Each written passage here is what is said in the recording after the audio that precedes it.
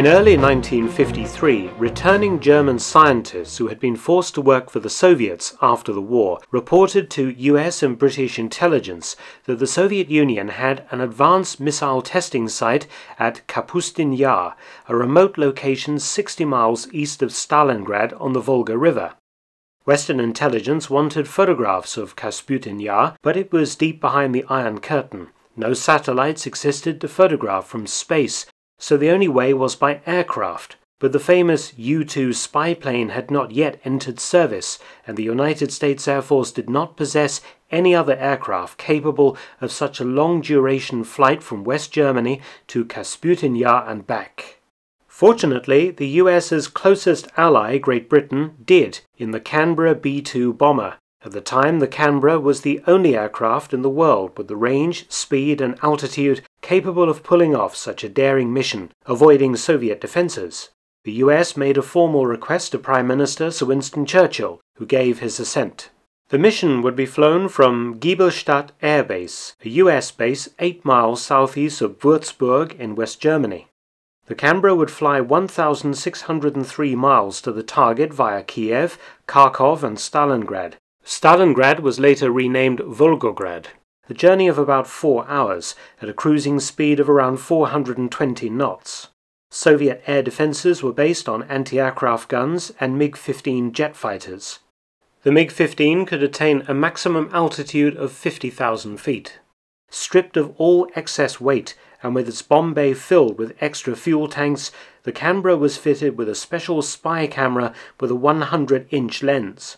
Although the squadron responsible has never been named, number 540 was the likeliest candidate and was engaged in secret photo reconnaissance missions over Eastern Europe. Much secrecy still surrounds this mission, with official denials from the British government. However, former Soviet fighter pilots sent to intercept the intruder, as well as an oral history from Robert Amory, deputy director of the CIA in the 1950s, confirm the mission's existence. Several academics have also written about the flight in various publications, the cumulative evidence allowing a fairly precise picture of the operation to be recreated. To avoid Soviet air defenses, the Canberra flew the mission at 46 to 48,000 feet, making it difficult for defensive MiGs to engage. One day in August 1953, a Canberra B-2 or PR-3 with a crew of two took off in the early morning from Giebelstadt, headed directly east, crossing Czechoslovakia, Poland, and the Ukraine.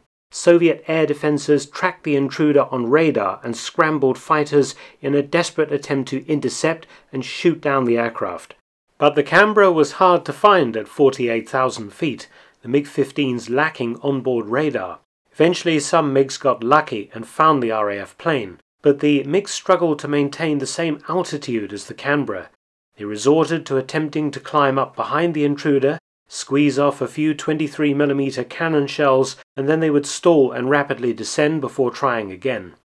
The Canberra did not deviate from its flight path, husbanding its fuel reserves, but as it approached Kasputin Yar, the unarmed British aircraft was finally hit.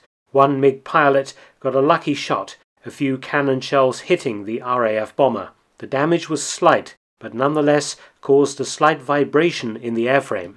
The attacking MiGs couldn't keep up. The Canberra made a successful photo reconnaissance run over Kasputin Yar, but the cannon shell induced vibration caused the photos to be slightly blurred, reducing their usefulness. The Canberra then headed 772 miles into Iran, then very friendly with Britain and America, and landed after an extraordinary flight of two and a half thousand miles through Soviet airspace at the height of the Cold War. Such a flight was never made again.